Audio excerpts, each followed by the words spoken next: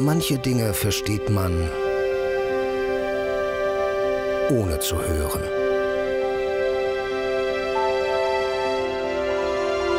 Andere dagegen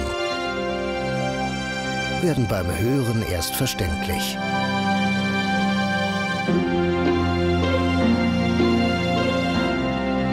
Deutschlandfunk und Deutschlandradio Kultur.